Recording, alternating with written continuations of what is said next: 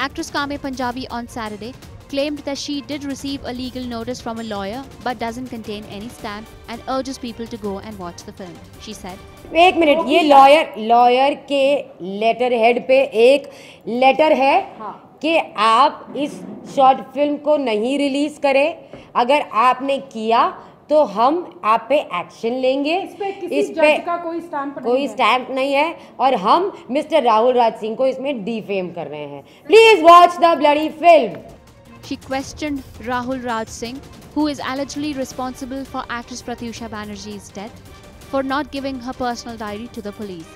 She said, वो diary एक साल हो गया उन्होंने आज तक पुलिस को दी क्यों नहीं? आप लोग क्यों नहीं पूछते? अगर उन्होंने अपने या- 25 इंटरव्यू में ये बोला है कि प्रत्युषा अपनी एक पर्सनल डायरी लिखती थी जो मेरे पास है उसमें उसके मिनट मिनट की फ़िक्र खबर है उन्होंने वो डायरी पुलिस को क्यों नहीं दी? और क्या पुलिस और उस डायरी में और उस डायरी में फिर ये भी लिखा होगा कि वो मरना चाहती है या वो दुखी थी? The story of the 18 minute short film revolves around the depression and ego that drives a young girl to commit suicide.